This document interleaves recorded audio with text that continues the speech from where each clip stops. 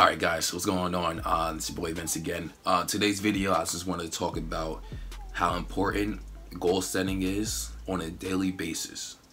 Um, and not only do you accomplish your goals, like say you had like five goals a day or something, and it could be anything. It could be related to your um, your work, if you're doing anything on the side for business, to going to the gym, to eating healthy, any type of realm of goal setting.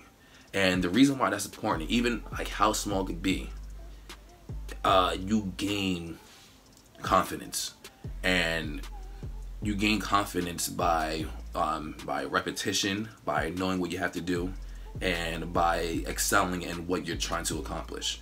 So it all breaks down to even more into that into the science of it. So there's something called dopamine that we have that we um, either we gain or that we shed. It's almost like it's uh, yeah dopamine receptor. So I have the definition loaded up of what dopamine is, and my computer kind of just died.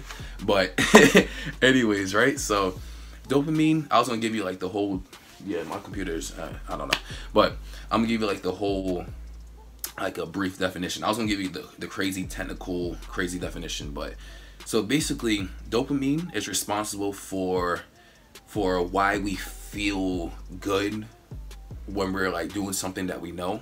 So like say if like you're if you're really good at video games, you're really good at video games, you have that satisfaction feeling like you've had that feeling like oh like I love playing this game, right? Or even if you're playing basketball, you know like if you're really good, you have the confidence, you have the composure that you know that you're really good at that thing. And I'm gonna go even extreme. Um, even with drugs, drug addiction. I said addiction, drug addictions. Now, you have the dopamine because now you feel good when you're doing it. I mean, obviously, whoever is hooked on to whatever substance. So it's always good and it's always bad to something. So what I'm trying to say is that um, I listened to Simon Sinek. I don't know if you guys know about him or heard of him. Uh, this was like about a good while ago, almost a year ago, and he was he was going through a talk to like the younger um, like millennials about um, about dopamine and about um, about other things. So him explaining that, I was like, okay, it makes a lot of sense now. It makes a lot of sense that it's not only it's not about who you are, like your personality. Like a lot of people blame why like the way they act is because oh that's the way I am. There's certain things that go into personality. A lot of people um, a lot of people confuse personality and with uh, a skill. So with that with that being said, you could you could control how much dopamine and like how much um, how your confidence um, rises. And the only reason is that is because by work ethic by if you wanting to put in the time to really go in and um, learn something and actually acquire the knowledge and gain the confidence from that. Now, once I put those two together, I used to have a quote that I had left on the board. I accidentally deleted. I said deleted. I accidentally erased it, but um, I said, actually, actually, no, I'll do that later. Yeah, I said, um, rewire your dopamine for success. So at the time, you know, what was my dopamine really on? It was on um it was on um like video games, working out, doing whatever. Basically everything that I couldn't that um that was in the way of me really um kicking up my financial future.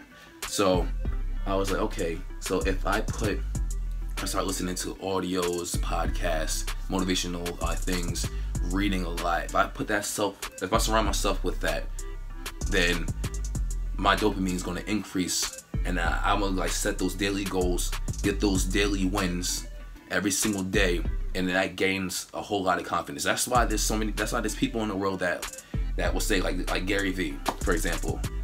He has so much dopamine, it's not even funny. I don't even know where he gets that from. So his main philosophy is that whenever he's inside a room or in any any type of situation, he says, I'm like I know I'm the shit. I know I'm the best at what I do. I know that like he's so confident, but he says, but at the same time, he knows only probably not even 1% of the world knows who he is. Now, I'm sorry, my throat.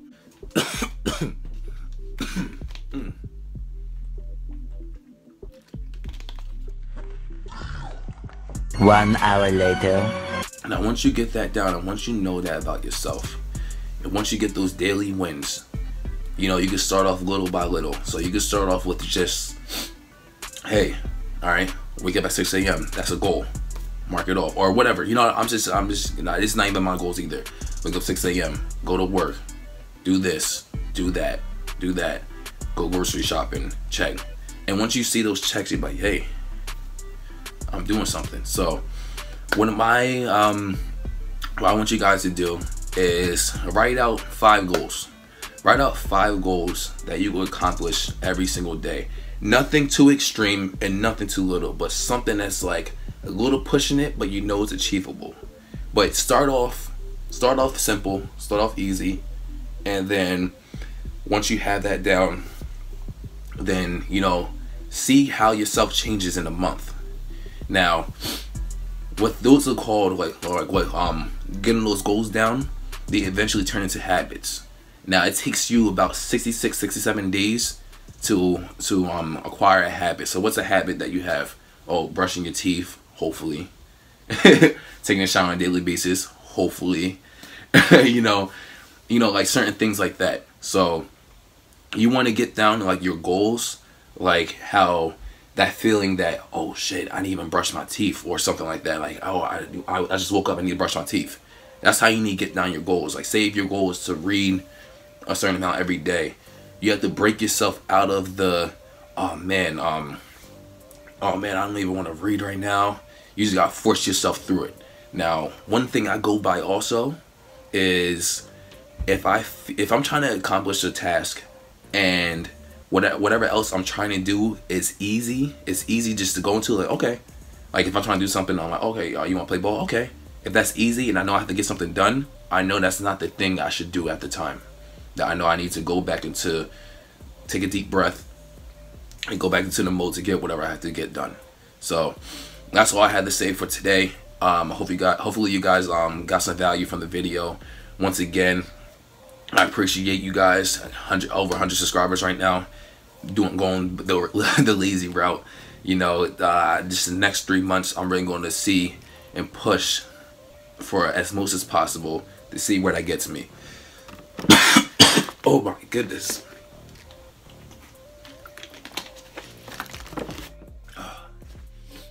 Three hours later. Guys, have a great day. Accomplish those goals. Write down those goals. Follow me on Instagram, Vincent period Smythe. Snapchat's the same exact thing. And um, I'll get to you guys in the next video.